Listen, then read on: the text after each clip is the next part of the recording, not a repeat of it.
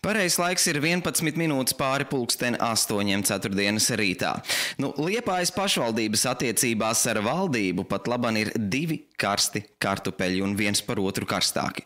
Šobrīd visas sabiedrības uzmanības centrā atrodas Liepājas teātris un tā nākotne. Vakar notika sarunas, kurās piedalījās kultūras ministrs un ministrijas valsts sekretāri, kā arī Liepājas domas priekšsēdētājs Jānis Vilnīts, kurš šorīt atrodas Rietumu radio studijā un kuram tad arī prasīsim, kas notiks ar Liepājas teātri. Labrīt!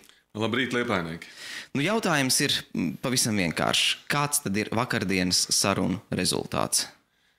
Tātad vakar notika divas tikšanās. Viena tikšanās kultūras ministrijā, otra finanšu ministrijā. Ja jāsaka, kāds ir rezultāts, nu, tad rezultāts nav tāds, lai es teiktu, ka mēs esam par 100% sasnieguši to, ko mēs vēlējāmies. Uh, Un droši vien jau tā reti, kad gadās, taču ir labais stāsts, ka tas smagākais jautājums, ka uh, visiem astoņiem Latvijas profesionāliem teātriem jābūt uz vienādiem nosacījumiem, lai nebūtu tāds viens teātris izņēmums kā Liepais teātris, kurš ir pašvaldības juridiskā kapitāla sabiedrība, kad, uh, ka šis jautājums uh, sāk risināties. Tā, tas ir tā, tas labais stāsts, tā labā puse. Uh, Un uh, tas varbūt tas uh, uh, stāsts, kur mēs cerējām, ka šīs ministrijas būs pretim nākošas, iespējams nav tik veiksmīgs.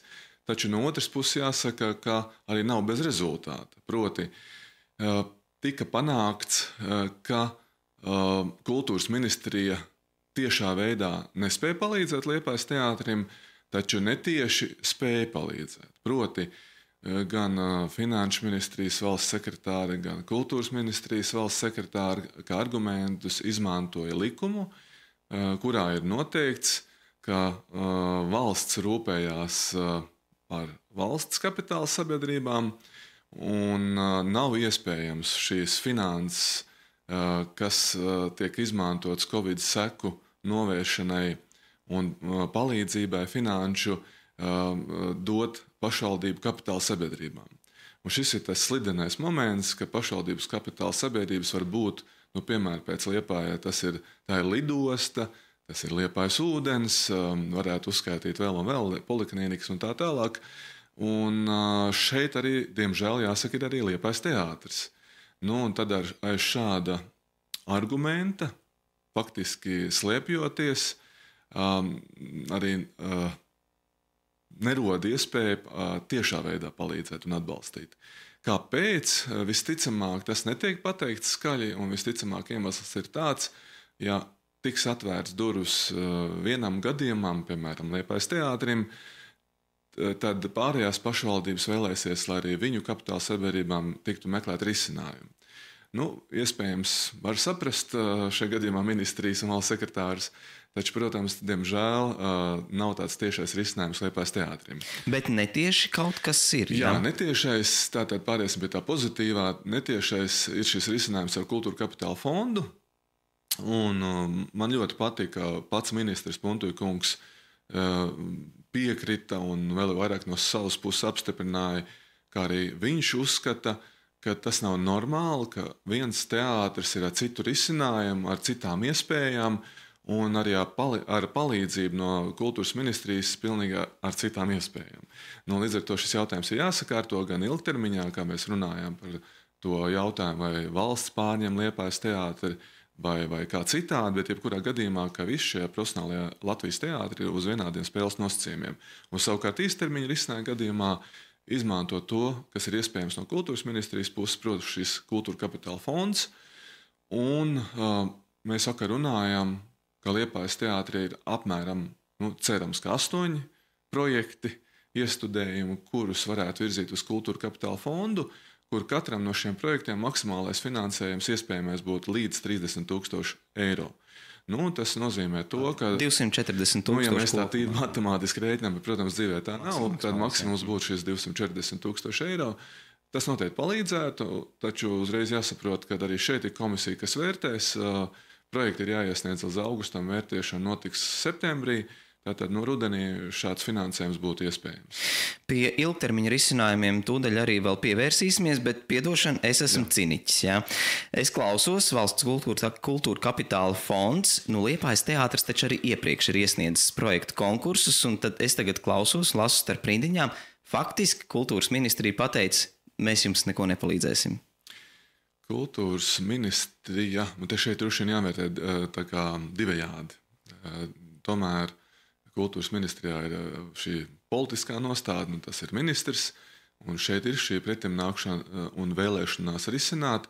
Un tad ir tā ierēdniskā daļa, kas ir jāņem vērā, tā ir visbiežāk visstiprākā, um, ir valsts sekretāra, eh, kura, kā jau minēju, kura saka, ka ir likums, ir vienādi spēles nosacījumi, taču, kā mēs vakar dzirdējām redzējām, tie spēles nosacījumi tomēr nav tā, ka nu, ka mēs varētu teikt, šeit visi saprotam. Nu, piemēram, pēc vakara mums uh, lika sagatavot tabulu uh, par to, kā Liepais teātris uh, strādā šogad. Tātad tabula tika pieprasīta visiem profesionāliem teātriem pilnīgi vienādi. Nu, un, tad šeit sākās diskusija, kad ir atsevišķi cipari, kas nav saprotami, kas nav izprotami. Uh, Un, protams, mēs par cipariem vienmēr varam runāt un, un argumentēt, ko arī vakar uh, veicām un darījām. Uh, taču uh, var cipariem piekrist, var cipariem nepiekrist. Un vakardienas sarunas arī tāds bija. Uh, bet šeit es vairāk redzu to, ka uh, var atrast argumentus, kāpēc kaut ko nedarīt. Uh, kas mazliet mulsina? Vakar Finanšu ministrijā ieguvām sarakstu ne tikai par astoņiem profesionāliem Latvijas teātriem, bet arī plašāk, tā skaitā pa valsts uh, simfoniskiem orķestriem, valsts operu un tā tālāk. Un ko mēs šajā sarakstā redzējām, ka ir ļoti atšķirīga pieeja. Piemēram, Finanšu ministrija nevērtēja pēc šādām tabulām, kā mums prasīja kultūras ministrija, bet ļoti vienkāršotā veidā es pat teiktu, kāds ir kopējais atalgojuma fonds, uh, kāda bijusi pirms tam valsts dotācija šajā atalgojuma fondā, un šo starpību arī kompensēja. Un tad bija interesanti redzēt šajā sarakstā, piemēram, Liepājas simfoniskam orķestrim, eh, šī starpība tika kompensēta 18,000 eiro. Nu, kas nav liela. Es teiktu, pat salīdzinoši maz šis atbalsts.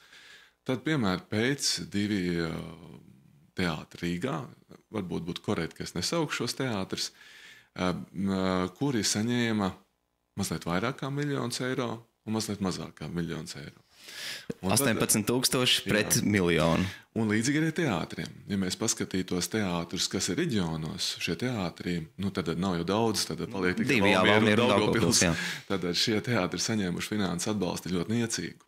Es saprotu arī ne, korekti, lai nebūtu tā, ka salīdzinās man liepās teātri, šīs summas nesaukšu. Tās ir nu, ļoti līdzīgas simfoniskam orķestrim, mazliet, mazliet vairāk. Taču, ja mēs atkal salīdzinām ar Rīgas šiem teātriem, nav saprotami, kāpēc ir šādi. Un tad es teiktu, tā, ka tā, jebkurā gadījumā ir ļoti daudz neatbildētu jautājumu. Un te, ir, te es teiktu, tā, jā, mēs varam runāt par cipariem. Mēs arī paņēmām kā mājas darbu, atgriezīsimies pie tā, ka vēlreiz rēķināsim, vēlreiz pierādīsim. Taču skaidrs ir, ka uh, tomēr visu nosaka attiecības. Un šeit redzot, kā tas notiek Rīgas teātros, tas nozīmē to, ka ir iespēja saņemt lielu finansējumu, un tad ir atsevišķiem teātriem, diemžēl, šī iespēja nav. Tātad valsts budžeta nauda tiek izmantota balstoties uz savstarpējām attiecībām. Nu, Negribētos tā domāt, bet no, no malas tā izskatās. Tā sanāk. Bet jūs arī pieminējāt Valmieras teātru un Daugopils teātri, kuriem arī ir niecīgs šis finansējums, arī Liepais simfoniskais orķestris, kas ir valsts Jā. paspārnē. Tad es tā secinu, ka kultūras ministrija kultūras attīstību redz faktiski tikai Rīgā, un reģioni ir tādi otrās šķiras. Eh, Runājot ar ministru, eh, tā tas eh, neizskanēja. Tas otrādi, ka ministram ļoti rūp šī kultūras attīstība reģionos. Taču, kā mēs tikko runājam, ir ļoti svarīgi, kā to redz ierēdniecība. Un, ja ierēdniecība saka, ka šeit ir likums, punkts un komats, tad nu, mums ir tajā jāieklausās, un, protams, tie spēles nosacījumi, kas um, būtu ļoti svarīgi skatoties no liepājas skatu punktu, vai no Valmieras, vai Daugavpils, vai kā citādi no reģiona, uh, lai šie spēles nosacījumi ir caurspīdīgi un visiem vienādi. Un uh, šeit ir zinām tāda nu, es gribētu teikt, bažas, kaut kāda mazliet varbūt neizpratne. Redzot šo, kā es teicu, šo ļoti lielo atšķirību, ka kaut kas nenotiek tā, kā vajag. Savukārt mēs pēc šīm pārunām Finanšu ministrijā un Kultūras ministrijā esam paņēmuši savus mājas darbus, esam sapratuši, kā, run, kā skatās viena ministrija, kā otra, un sagatavosim divus aprēķinus.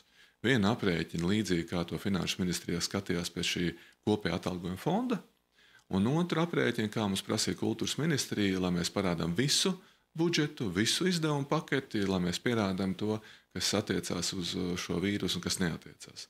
Tātad savus mājas darbus izdarīsim, pie sarunām atgriežamies nākošo nedēļu, nākamo nedēļu. Un katrā ziņā nu, būsim stiprāki, gudrāki un pieredzējušāki. Klausoties arī šīs summas, kas ir iepriekš izskanējušas, ka zaudējumi ir kaut kas starp 400 un 500 tūkstošiem, nu šeit mēs uh, dzirdam, ka maksimālais, ko varētu caur kultūra kapitāla fondu jauniem projektiem dabūt, varētu būt 240 tūkstoši. Nu, ir šī starpība. Uh, vai varam secināt, ka pašvaldība drīzumā kaut kad lems par papildu finansējumu piešķiršanu no pašvaldības budžeta? Nu, te, šeit es gribu atgādināt to, ka pašvaldība jebkurā gadījumā bija gatava lemt to uh, finansējumu atbalstu jau šī gada martā. Uh, 12. martā, diemžēl, Latvijā tika pasludināta ārkārtējā situācija, un uh, šo lēmumu esam uh, kā, nu, paildzinājuši, atcēluši. Kāpēc? Uh, tāpēc, ka monitorējam, kas notiek uh, šajā kultūras nozarē kopumā, un arī Liepājas teātrī.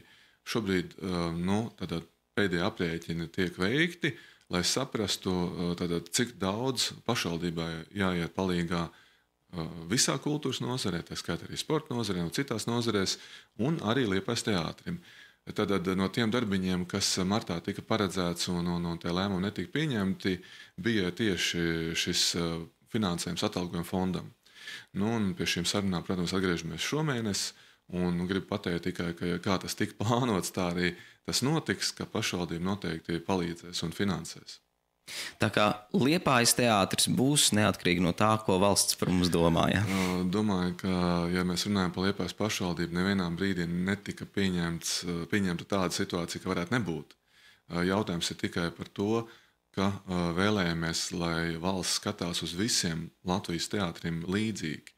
Un, ja palīdz vienam teātrim, tad palīdz arī otram teātrim. Uh, Tas, kas mazliet bija tas jaunums, jā, vakar, nu, priekš manis vismaz, es nevaru pateikt par visiem, varbūt saviem kolēģiem, bet priekš manis jaunums, ka Finanšu ministri ieraugot šo tabulu par visām šīm nu, kultūras iestādēm, teātriem un tā tālāk, kāda tik liela tā diference ir. Un tāpēc arī mazliet bija interesanti, piemēram, nu, ka tabulā parādās atkal šie, šis piemērs Rīgas teātris, ja, kad uh, ir ļoti liels šis atalgojuma fonds, tas ir saprotami. Uh, Un, un, un savukārt tā, tā valsts tiešā dotācija ļoti niecīga. Nu, piemēram, pastoties kaut kādā teātrī reģionā, atalgojuma fonds ir mazāks, savukārt valsts šī dotācija atkal lielāka. Nu, manuprāt, šeit ir kaut kā droši vien nu, ļoti daudz jautājumu, kāpēc tā notiek, jo tā tas nevarētu notikt. Vai pavirzījās arī kaut kā uz priekšu šīs runas un idejas par to, ka Liepājas teātris varētu nonākt valsts īpašumā? Jā, tas, tas ir tas pozitīvais, jo iepriekš jau pirms manis un, pirms nu, droši vien arī mana vietnieka kultūras jomā šīs sarunas jau notikušas. Ir, un, nu, tad jāsaka tā, ka beidzot ir šī apņemšanās no kultūras ministrijas puses šīs sarunas turpināt. Tātad, kas ir galvenais mērķis? Galvenais mērķis ir tāds, lai visi Latvijas astoņi profesionāli teātri uz vienādiem spēles nosacījumiem. Nu, mūsu izpratnē, protams, mēs domājam un runājam par to, ka tas varētu būt stāsts, ka Liepais teātris ir valsts teātris. Protams, pašvaldība turpinās atbalstīt un finansēt, un mēs varam runāt, kādā veidā tas notiks. Un, un mēs nevienā brīdī neatsakāmies to, ka mēs negribam savu teātri atbalstīt. Taču tas pats galvenais, lai, lai šie spēles nosacījumi ir vienādi. Nu, šīs sarunas ir sākušās, un ministrs pats apsolīja vakar personiski, ka pie sarunām atgriežamies tad, tad, rudenī, no septembris, oktobris. Noteikti tas laiks, kad mēs pie sarunām atgriežamies.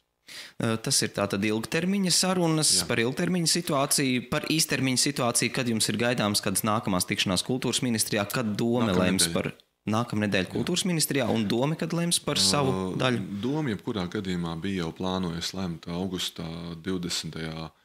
augustā ir domas sēde, tātad pirms tam ir komiteju sēdes un arī budžeta komisijas sēdes, un tā ir tā kārtība ierastā, kā mēs bijām plānojuši jau lemt ar šiem jautājumiem.